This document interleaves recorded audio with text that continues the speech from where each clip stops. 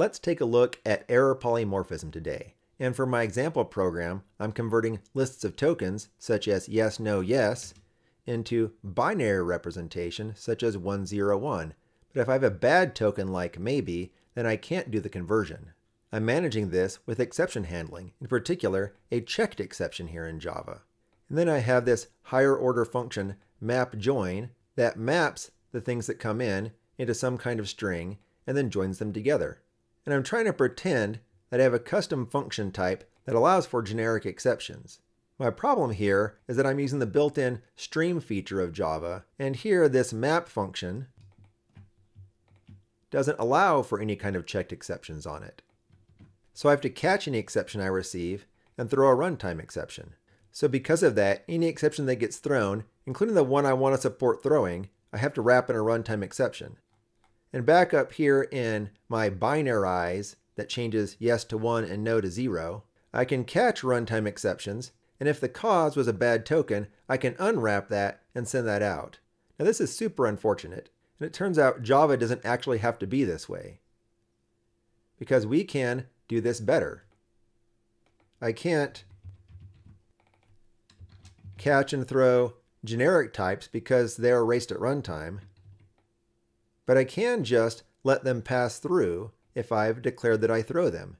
And it can properly infer that generic exception type for pass-through purposes. So if I just manually do this, instead of using the stream features that are built into Java, then I get exception polymorphism just fine. Let's binarize better. And it still works as before. Of course, an alternative to this is the C-sharp way of saying we don't have checked exceptions. So I can make a custom exception type, throw it whenever I want to, and go right through the LINQ map function with no issues at all, and just catch it if I want to. And acts just like in Java. Of course, it's sometimes nice to know statically that certain kinds of errors can happen. And one fun language to look at for this is Koka, that has arbitrary effect polymorphism, of which exceptions are one case. And in this case, I'm using the built-in exception mechanism. I'm checking the exception string here. And hey, this is Tom from the future, and I got some help from Koka people that said that I don't actually have to rely on the text in there, but I can actually extend the exception info because it's an open type. And so because of that, I can provide my own bad token info and match on that, which is nicer than checking a string, obviously. I didn't get that done in time for the main recording, so back to what I had earlier.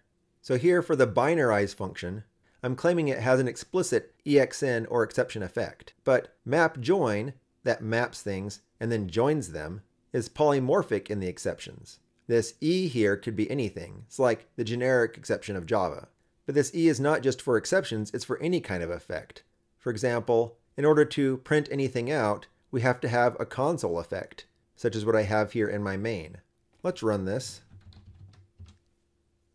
And note that if I get rid of the polymorphism here, I now have an error because the exception effect can't be passed along through map join. And we can see here that it infers that exception effect. Now, I could be silly and print other things in here as well, which is fine by map join, but we'd also have to allow for console effect and binarize. So here I'm having again explicit effects, and here those effects are just being inferred. I can also just ask for inferred effects, although in this case it's having those effects explicitly as opposed to polymorphically. Koka also has built-in value-based error forwarding in addition to exception effects, but to look closer at that, let's go to a language that emphasizes errors as values. And in this case, we're going to look at Rust with its result enum. It can either be successfully a string for binarize, or as an error it could be a bad token. Now I can make this a more flexible kind of error, but for the purpose of this program, the only kind of error I'm going to bother getting is a bad token. And while we saw that Java can make exceptions generic as long as they're just passed through, and Koka can make arbitrary polymorphic effects, Rust doesn't really need to do either because ordinary generics automatically handle error types as well because they're just values. So down here in map join, I have to have a lot of type variables, but here my result type is just an ordinary type, and E for error is also just an ordinary type, and I can just make it pass through. And it can infer that the only kind of error I'm giving here is bad token, so E also has to be bad token. Let's run this. And it compiled fast because Rust does a good job of handling caching of previous compiled results. But we see here it worked just fine. And try_fold also has generics for the possible error type, so the errors are polymorphic naturally just through ordinary generics in Rust. And as another detour from Tom in the future, I realized I failed to cover another exploration I wanted to do, which is instead of returning an explicit result, just return any old kind of type. And that type can still be a result type with possible errors. But because this function is now agnostic to whether it's getting a result type or not, it can't do things like early exit, nor extract out the values from the non-error cases. The body of this function is unchanged, but in this case, the results I get are very different. So it might depend on what you're trying to achieve, whether this kind of result agnostic flexibility is useful to you. Anyway, let's go back to the original recording. But before we're done, let's take a look also at Zig, which famously has compile time execution, and we can use comptime to make polymorphic errors here as well. Now, note that functional programming is not really common in Zig. It's much more about imperative, but we can do functional if we want to within the constraints of the language. So here I'm looping on entries as for the other languages. If it's successful, I print it out. Otherwise, if I get a bad token error specifically, I'm going to print that and forward any other errors out of main. In this case, I know specifically that's just out of memory error. Here I passed in my allocator into binarize. And here's my function that changes yes to 1, no to 0, and otherwise gives an error. And I can use whatever kind of error types I want for this function.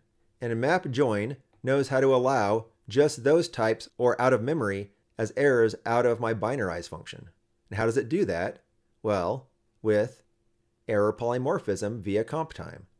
I call that function for each of the items, and I just build up a result as before, but this try can forward specifically anything that my function can forward, or also out of memory error.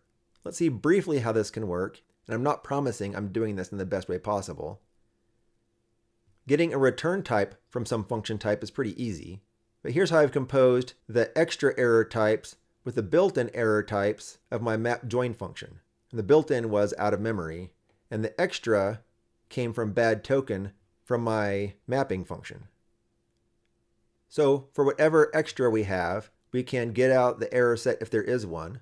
We can also get out any errors for the built-in main return type and get that return type value as well, union those error sets, and build a combo return type which means the possible error set for map join depends on the error set of func as well as the out of memory that I've made explicit here.